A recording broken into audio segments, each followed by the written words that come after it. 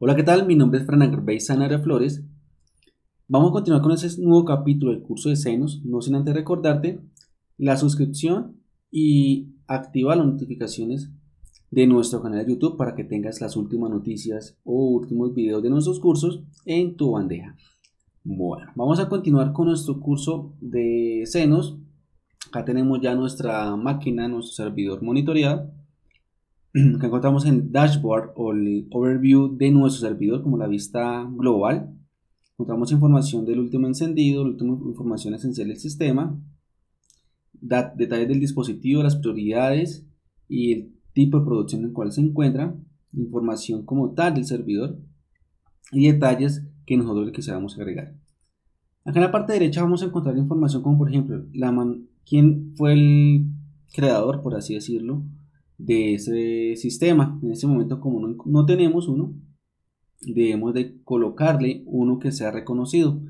Como sabemos que el tipo de servicio, el sistema operativo que estamos manejando es CentOS, solamente vamos a agregar un nuevo sistema operativo. Vamos a colocar CentOS 7 y le damos OK. Ahora solamente nos devolvemos nuevamente a, nuestra, a nuestro servidor.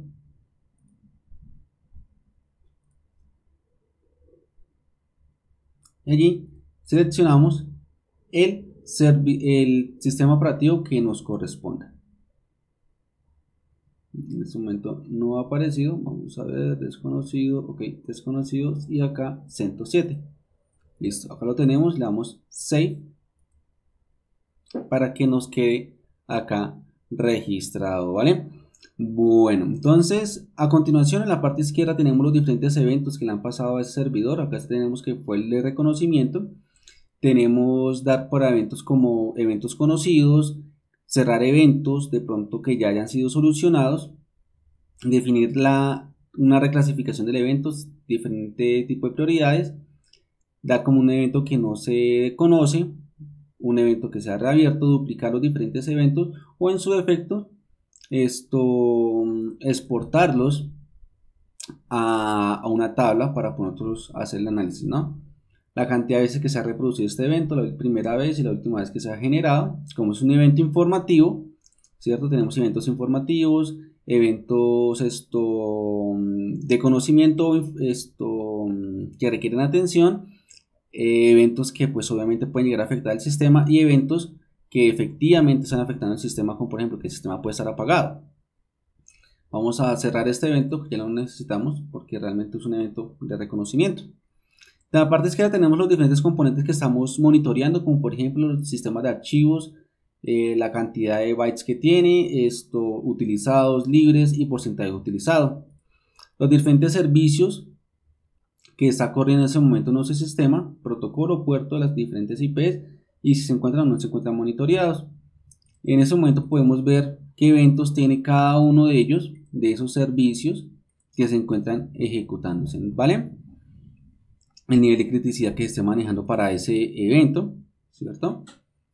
Las interfaces de red que se encontramos en ese momento monitoreando, así tienen gráficos de consumo, podemos ir aumentando solamente dándole clic, ir aumentando el consumo, o sea, o la gráfica, podemos definir unos, rangos, ya sea horario, horas, días, semanal, mensual, anual. Podemos definir esto, un rango de fechas para ver el tráfico de la red en ese momento. Y podemos definir cada cuánto se refresca esa información, ¿no? Entre mayor sea la solicitud, pues mayor será la carga, ¿no? Ok, vamos a vernos para las rutas que tenemos creadas en este momento en el sistema podemos ver los procesos que están ejecutándose en este momento en el sistema, podemos ver también la carga que tienen cada uno de esos procesos sobre nuestro sistema, eh, la cantidad de procesadores que se encuentran también en este preciso momento ejecutándose, en este tenemos dos procesadores, podemos ver los eventos que tiene los procesadores, los detalles y las plantillas que se encuentran cargadas. En la parte gráfica encontramos la carga del sistema, ¿cierto? El porcentaje de utilización del procesador. Eh, este gris significa cuánto estaba el procesador descargado realmente, o sea que no encuentra mucha carga. Encontramos eh, la utilización de la memoria, vemos que casi encontramos que es un 100% de utilización de la memoria RAM. eh, la entrada y salida del disco duro. Entonces acá también podemos ver si la carga del disco duro ha estado alta o bajita, de acuerdo, pues obviamente las características de nuestro disco duro, el servidor. Tenemos plugins de modelación para que nos identifique de mejor manera la información que va a obtener de este servidor. Por ejemplo, a mí me interesa como comandos de CPU info, me interesa ifconfig, de memory, netstat, todo esto me interesa obtener información. Eh, ¿Qué más podemos jalarle acá? Esos son de Windows. Bueno, no tenemos más así que nos pueda interesar. Realmente dejémoslos así. MySQL. Y le damos Save para que se mantengan y me intente traer más información sobre, sobre esos diferentes servicios o elementos del, equipo, ¿no? Eh, tenemos la configuración global de ese servidor, entre comillas configuración global, porque son los cómo se conecta el Xenos hacia ese servidor. Encontramos el tema del SSH, acá cambiamos el puerto del SSH de conexión, eh, el usuario SSH, el password del SSH, cantidad de intentos que realiza al servidor para conectarse, y login timeout. Normalmente estas configuraciones nosotros no las realizamos porque si necesitamos realizar una administración sobre el servidor, preferiblemente lo hacemos a través de la consola, ya que es mucho más rápido que utilizar el navegador web. Tenemos el software que se encuentra en ese momento instalado en el sistema, en ese momento no hemos jalado ninguno. Propiedades que se han definido, detalladas sobre el sistema. Comandos de administración, en ese momento tenemos esos comandos creados ¿cierto? Nosotros podemos crear más comandos, pero obviamente debemos de tener creados esos comandos dentro del servidor de senos para que los pueda ejecutar, ¿cierto? Y esos comandos se pueden ejecutar directamente acá. Como vemos, acá tenemos los diferentes comandos. Por ejemplo, hagamos un nmap. Entonces, él hace la ejecución del comando que nosotros le hayamos definido. Eh, por ejemplo, podemos hacer acá un ping, un route, etcétera, ¿no? Mm, los comandos pueden ser globales como eso o pueden ser específicos. Acá podemos crear los comandos específicos sobre, la, sobre ese servidor, ¿cierto? Que vamos a ejecutar sobre ese servidor. O en su defecto podemos ir a la, a la pestaña de avanzado y crear comandos globales. Acá lo podemos solamente agregar un comando. ¿Listo? Mm, vamos, más adelante vamos a crear comandos y todo esto. Vamos a volvernos nuevamente. Nuevamente. ¿Listo?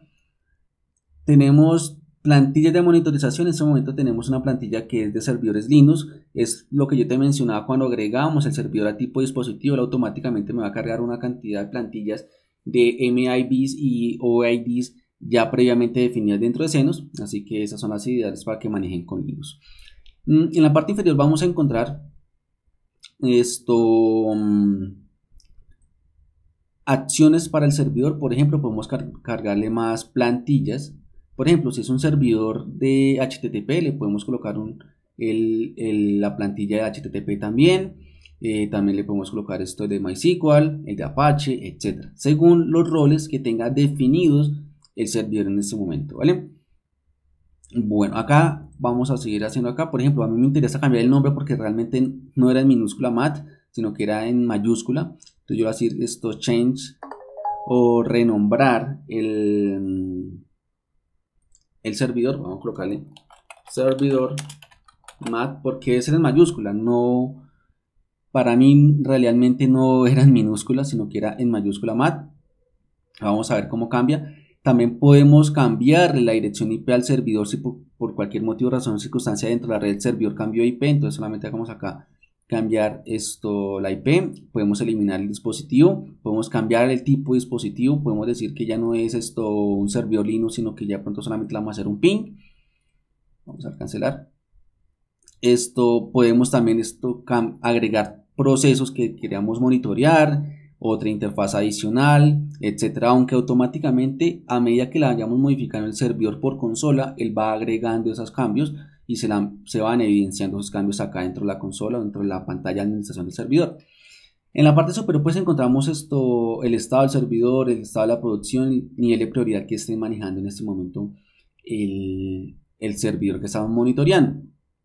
¿Cierto? Acá encontramos otros menús globales para ingresar a administrar todos los servidores. Son los menús globales como tal. ¿Listo? Bueno, entonces, ya hemos cambiado, ya tenemos el servidor donde está ubicado, pues me traje una imagen de acuerdo a lo que tengamos acá definido. Mm, de forma global, como te das cuenta, la información que nos está arrojando es un sistema monitoreado muy sencillo, muy fácil de administrar, no es nada complicado realmente. Es esto, realmente como vuelvo a mencionarlo, muy, muy, muy sencillo. ¿Vale? Mm, el tema de los comandos son comandos eh, que nosotros podemos ir agregando según nuestras necesidades, como te he mencionado, ya sea mm, comandos específicos para el, para el servidor o comandos globales que le deseemos administrar el servidor. ¿Ok? Vamos a intentar crear un nuevo comando, vamos a, ver de pronto qué comando nos puede servir. Vamos un momentico a buscar un comando que realmente nos sirva por ejemplo, que se puedan realmente eh, ejecutar sobre ese dispositivo, ¿no? Bueno, vamos a ver acá en comandos. Vamos a agregar un nuevo comando. Entonces podemos add user command. Entonces el command ID normalmente le coloco el nombre del comando que yo deseo eh, crearle al servidor Senos para que escanee o haga un, cierta acción sobre el, sobre el servidor remoto, ¿cierto? Entonces, digamos, en este momento, mm, no sé, no se me viene un, comando realmente a la cabeza que podamos crear. Mm, no sé, creemos el comando dic. Obviamente este comando está previamente creado en el, en el servidor. Vamos a ver si lo tenemos.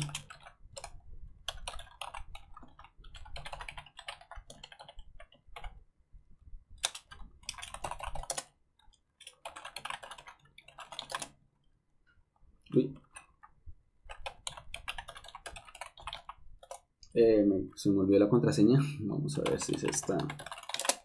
Son varias contraseñas que se manejan. Listo. Vamos a hacer la instalación de DIC. Vamos a ver si lo tenemos. Esto es Zoom, Search. Esto. Lean Tools. Creo que es en 106.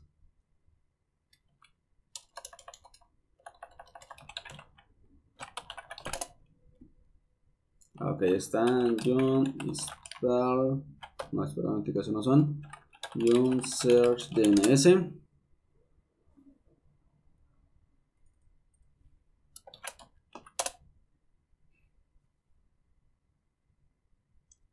Bit utils, acá lo tenemos.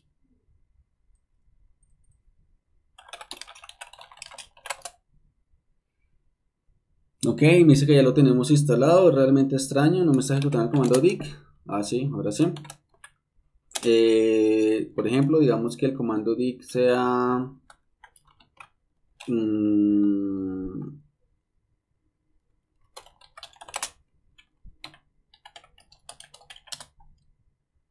dejémoslo así, digamos que solamente ejecutemos este comando, ¿cierto? Aunque realmente no me hace nada, no es nada, no es nada productivo. Entonces le damos un dic, digamos ani.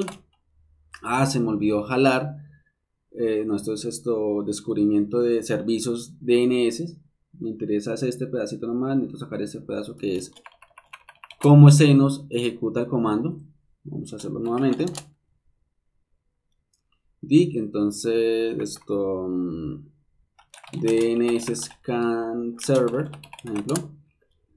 Entonces no sé, ejecutamos el comando dic "-x", que es inverso, y que se ejecute sobre ese servidor y me confirma el password del administrador. Solamente acá ya vemos que se me agregó, ¿vale?